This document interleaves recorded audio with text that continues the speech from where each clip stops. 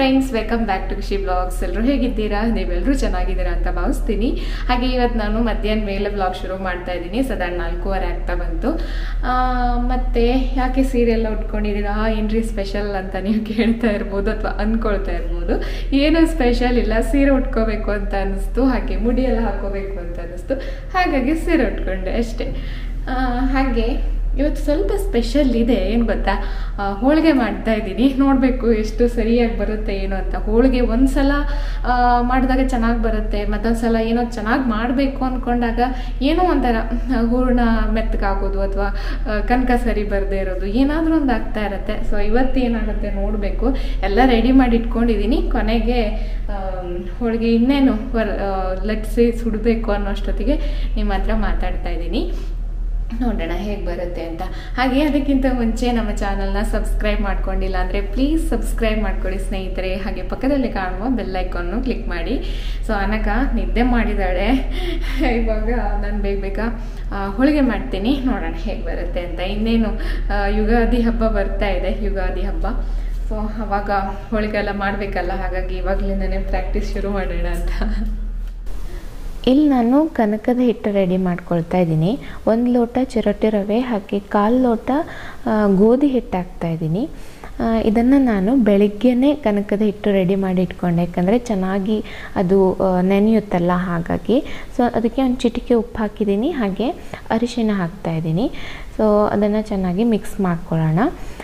ಹಾಗೆ ಸ್ವಲ್ಪ ಸ್ವಲ್ಪನೇ ನೀರು ಹಾಕಿ ನಾನು ಚೆನ್ನಾಗಿ ನಾದ್ಕೊಂಡು ನಾದ್ಕೊಂಡು ಕನಕದ ಹಿಟ್ಟನ್ನು ತಯಾರು ಮಾಡ್ಕೊಳ್ತಾ ಇದ್ದೀನಿ. ಒಮ್ಮೆಲೆ ನೀರು ಹಾಕಿಲ್ಲ. ನಿಧಾನಕ್ಕೆ ಎಷ್ಟು ಬೇಕೋ ಅಷ್ಟು ನೋಡ್ಕೊಂಡು ನೋಡಿಕೊಂಡು, ಹಾ, ಸ್ವಲ್ಪ ನೀರು ಹಾಕೋದು, ಚೆನ್ನಾಗಿ ನಾದೋದು, ಮತ್ತು ನೀರು ಹಾಕೋದು ಈ ಥರ ಮಾಡಿ ಹಿಟ್ಟನ್ನು ತಯಾರು ಮಾಡ್ಕೊಂಡಿದ್ದೀನಿ. ಇದನ್ನು ನಾನು ಬೆಳಿಗ್ಗೆನೇ ಅಂದರೆ ಕನಕಕ್ಕೆ ರೆಡಿ ಮಾಡಿ ಎಣ್ಣೆ ಹಾಕಿ ನಾನು ಇದಕ್ಕೆ ಬಿಟ್ಟಿದ್ದೀನಿ. ಯಾಕಂದರೆ ಚೆನ್ನಾಗಿ ಅದು ಕನಕ ಬರುತ್ತೆ ಅಂತ. ಅದರಲ್ಲೂ ಚಿರೋಟಿ ರವೆ ಬಳಸಿರೋದ್ರಿಂದ ಸ್ವಲ್ಪ ಜಾಸ್ತಿ ಟೈಮೇ ಹಿಡಿಯುತ್ತೆ, ಚೆನ್ನಾಗಿ ಬರಲಿಕ್ಕೆ.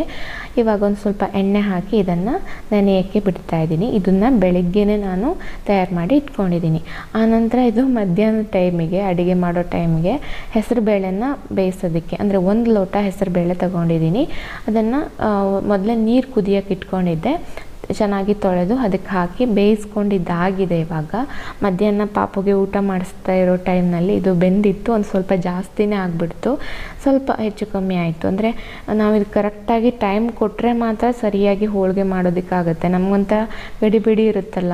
ಸೊ ಏನು ಮಾಡೋಕ್ಕಾಗಲ್ಲ. ಆನಂತರ ಏನು, ಹೆಸರುಬೇಳೆ ಬೇಯಿಸಿ ಆ ನೀರನ್ನು ಬಸಿದು ಇಟ್ಕೊಂಡಿದ್ದೀನಿ.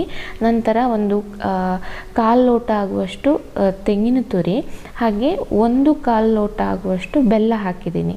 ನಾನು ಬೇಳೆ ಮತ್ತು ಕಾಯಿ ತುರಿ ಎಷ್ಟು ಹಾಕ್ಕೊಂಡಿದ್ದೀನೋ ಅಷ್ಟೇ ಬೆಲ್ಲ ಕೂಡ ಹಾಕ್ಕೊಂಡಿದ್ದೀನಿ ಅದು ಪುಡಿ ಬೆಲ್ಲ ಆಗಿತ್ತು, ಹಾಗಾಗಿ ನಾನು ಕರೆಸಿಲ್ಲ, ಹಾಗೆ ಹಾಕಿದ್ದೀನಿ. ಸೊ, ಇವಾಗ ಚೆನ್ನಾಗಿ ಅದನ್ನು ಕಾಯಿಸ್ಕೊಳ್ತಾ ಇದ್ದೀನಿ. ಸ್ವಲ್ಪ ಅಂಟು ಬರ್ತಾ ಇದೆ ಇವಾಗ. ನಂತರ ಸ್ಟವ್ ಆಫ್ ಮಾಡಿ ಇಟ್ಟಿದ್ದಾಗಿದೆ. ಚೆನ್ನಾಗಿ ಅದು ಆರಲಿ ಅಂತ. ಅದು ತಣ್ಣಗಾದ ನಂತರ ನಾನು ಇವಾಗ ಇದನ್ನು ರುಬ್ಕೊಳ್ತೀನಿ. ಸೊ ಇಲ್ಲಿ ಏಲಕ್ಕಿ ಏನೂ ಹಾಕಲಿಲ್ಲ. ಸ್ವಲ್ಪ ಗಡಿಬಿಡಿ ಗಡಿಬಿಡಿ ಆಗುತ್ತಲ್ಲ. ಮಗುನ ನೋಡಿಕೊಂಡು ವೀಡಿಯೋನು ಮಾಡಿಕೊಂಡು ಸ್ವಲ್ಪ ನನಗೆ ಗಡಿಬಿಡಿ ಆಗ್ತಾಯಿತ್ತು ಹಾಗಾಗಿ, ಓಕೆ ಸಿಂಪಲಾಗಿ ಮಾಡೋಣ ಅಂಥೇಳಿ ಮಾಡ್ತಾಯಿದ್ದೀನಿ ಇವಾಗ ಎಲ್ಲವನ್ನು ಸ್ವಲ್ಪ ಸ್ವಲ್ಪನೇ ಹಾಕಿ, ಸ್ವಲ್ಪ ಸ್ವಲ್ಪನೇ ಹಾಕಿ ಚೆನ್ನಾಗಿ ರುಬ್ಕೊಳ್ತಾ ಇದ್ದೀನಿ.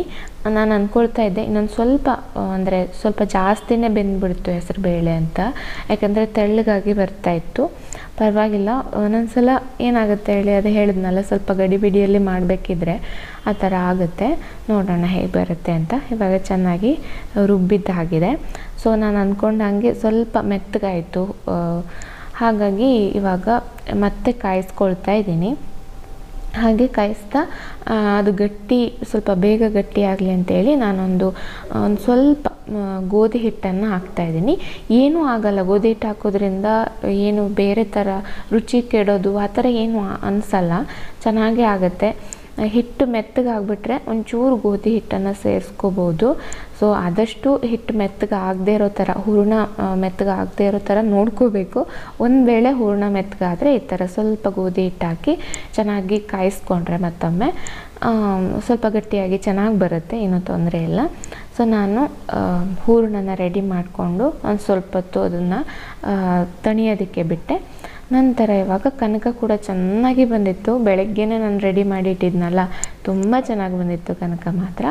ಸೊ ಒಂದೊಂದೇ ಉಂಡೆ ತಗೊಂಡು ಕನಕನ ಮೇಲ್ಗಡೆ ಹಾಕ್ಕೊಂಡು ಇವಾಗ ತಟ್ಕೊಳ್ತಾ ಇದ್ದೀನಿ. ಸೊ ಒಂದೆರಡು ಆಲ್ರೆಡಿ ಬೇಯಿಸಿದ್ದಾಗಿದೆ ಹೋಳಿಗೆನ. ಇವಾಗ ಚೆನ್ನಾಗಿ ಕೈಯಲ್ಲೇ ತಟ್ಕೊಳ್ತಾ ಇದ್ದೀನಿ. ತುಂಬಾ ಚೆನ್ನಾಗಿ ತಟ್ಟಕ್ಕೆ ಬರ್ತಾಯಿತ್ತು ಯಾಕಂದರೆ ಕನಕನೂ ಚೆನ್ನಾಗಿ ಬಂದಿತ್ತು. ಹಿಟ್ಟು ಚೆನ್ನಾಗಿ ಬಂತು. ನಾನು ಗೋಧಿ ಹಿಟ್ಟು ಹಾಕಿ ಮತ್ತೆ ಕಾಯಿಸಿದ್ನಲ್ವಾ ಆವಾಗ ಚೆನ್ನಾಗಿ ಉಂಡೆ ಮಾಡೋ ಥರನೇ ಬಂದಿತ್ತು. ಗಟ್ಟಿನೂ ಆಗಲಿಲ್ಲ, ಮೆತ್ತಗೂ ಆಗಲಿಲ್ಲ. ಸೊ ಚೆನ್ನಾಗಿ ಬಂತು. ಇವಾಗ ಚೆನ್ನ ಇದನ್ನೆಲ್ಲನೂ ನಾನು ಬೇಯಿಸ್ಕೊಳ್ತೀನಿ. ಸೊ ಹೋಳಿಗೆ ಓಕೆ, ಪರವಾಗಿಲ್ಲ, ಒಂದು ಲೆವೆಲಿಗೆ ಚೆನ್ನಾಗೇ ಬಂತು. ಇನ್ನೊಂದು ಸ್ವಲ್ಪ ತೆಳ್ಳಗೆ ತಟ್ಟಬೇಕಿತ್ತು ಅಂತ ಅನ್ನಿಸ್ತು ನಾನು ಪೇಪರ್ ಇದು ತಟ್ಟಬೇಕಿದ್ರೆ ತೆಳ್ಳಗಂತ ಅನ್ನಿಸ್ತಾ ಇತ್ತು. ಬಟ್ ಅದನ್ನು ಒಂದು ಸಲ ಬೇಯಿಸಿ ಆದಮೇಲೆ ಸ್ವಲ್ಪ ದಪ್ಪಾಗಿ ಬಂತು ಅಂತ ಅನ್ನಿಸ್ತು ಮತ್ತು ಮೆತ್ತಗಿತ್ತು, ಏನೂ ತೊಂದರೆ ಏನಿಲ್ಲ. ಸೊ ಹೀಗೆ ನಾನು ಹೋಳಿಗೆಗಳನ್ನು ಮಾಡಿಕೊಂಡೆ. ಇನ್ನೂ ಕೂಡ ಅಷ್ಟು ಪೂರ್ತಿ ಮುಗ್ಸೋಕ್ಕಾಗಲಿಲ್ಲ ನನ್ನ ಹತ್ರ. ಸೊ ನೈಟ್ ಮಾಡ್ಕೊಳ್ಳೋಣ ಅಂತ ಅಂದ್ಕೊಂಡೆ ಇವಾಗ ನೋಡಿ ಇಷ್ಟು ಹೋಳಿಗೆ. ಇನ್ನೊಂದೆರಡು ಆಗಿತ್ತು. ನಾನು ಜಸ್ಟ್ ತೋರಿಸೋದಕ್ಕೆ ಅಂತ ನಿಮಗೆ ಬಟ್ಲಲ್ಲಿ ಇಷ್ಟೇ ಹಾಕಿದ್ದೀನಿ. ಸೊ ಈ ಥರ ಹೋಳಿಗೆನ ನಾನು ಮಾಡಿದ್ದೀನಿ. ನನ್ನ ಎಫರ್ಟ್ ನಿಮಗೆ ಇಷ್ಟ ಆದರೆ, ಯಾಕಂದರೆ ಕೆಲವೊಂದು ಸಲ ವೀಡಿಯೋಕ್ಕೋಸ್ಕರನೇ ನಾನು ರೆಸಿಪಿನ ರೆಕಾರ್ಡ್ ಮಾಡ್ತೀನಿ.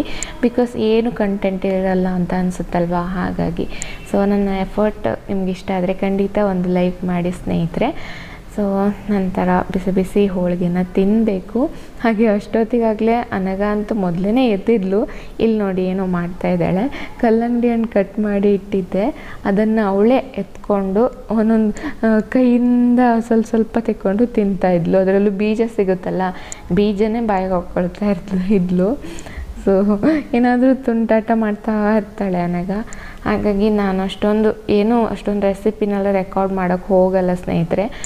ಯಾಕಂದರೆ ಆಗಲ್ಲ. ಒಂದು ರೆಸಿಪಿ ರೆಕಾರ್ಡ್ ಮಾಡ್ತೀವಿ ಅಂದರೆ ಚೆನ್ನಾಗಿ ಮಾಡಬೇಕಾಗತ್ತೆ.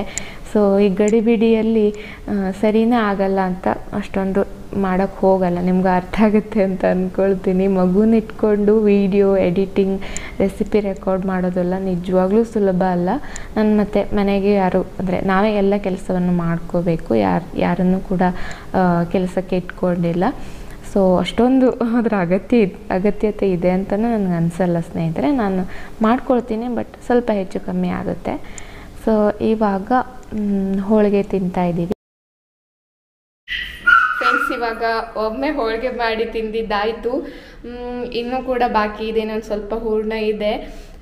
ಸಂಜೆ, ರಾತ್ರಿ ಅಥವಾ ನಾಳೆ ಬೆಳಗ್ಗೆ, ನಾಳೆ ಹೆಂಗೆ ಮಾಡ್ಕೊಳ್ತೀನಿ? ಯಾಕಂದರೆ ಇವಾಗ ಅನಗ ಎದ್ಬಿಟ್ಟಿದ್ದಾಳೆ. ಇವಾಗಲ್ಲ ಆವಾಗಲೇ ನಾನು ಹೋಳಿಗೆ ಮಾಡೋಕ್ಕೆ ಶುರು ಮಾಡಿದ ತಕ್ಷಣವೇ ಅವಳು ಎದ್ಬಿಟ್ಟಿದ್ದಾಳೆ. ಒಂದು ಸ್ವಲ್ಪ ಹೊತ್ತು ನನ್ನ ಹಸ್ಬೆಂಡ್ ನೋಡಿಕೊಂಡ್ರು.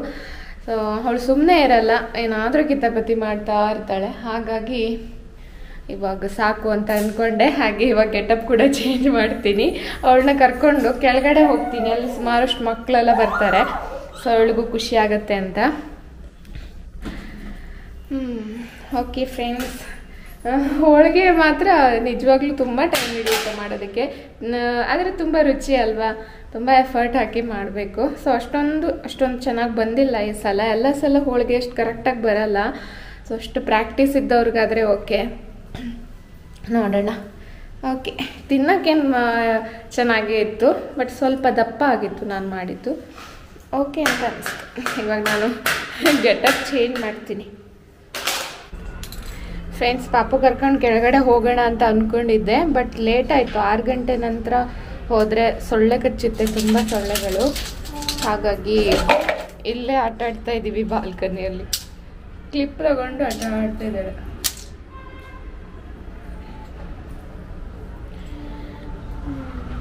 ಸೆಕೆ ಶುರು ಆಯಿತು ಇವಾಗ. ಇಷ್ಟು ದಿನ ಸ್ವಲ್ಪ ಓಕೆ ಓಕೆ ಇತ್ತು, ಇವಾಗ ಫುಲ್ ಸೆಕೆ ಶುರು ಆಗಿದೆ. ಫ್ರೆಂಡ್ಸ್ ಇಲ್ಲಿ ಕುತ್ಕೊಂಡು ಆಟ ಆಡ್ತಾ ಇದ್ದೀವಿ ನಾನು ಅನ್ನಾಗ ಈ ಕ್ಲಿಪ್ಪಲ್ಲಿ ಆಟ ಆಡ್ತಾಳೆ ಅವಳು ಅಷ್ಟೇ, ಬಟ್ಟೆ ಕ್ಲಿಪ್ಪು ಆಟಿಕೆ ಎಲ್ಲ ಏನು ಬೇಡ.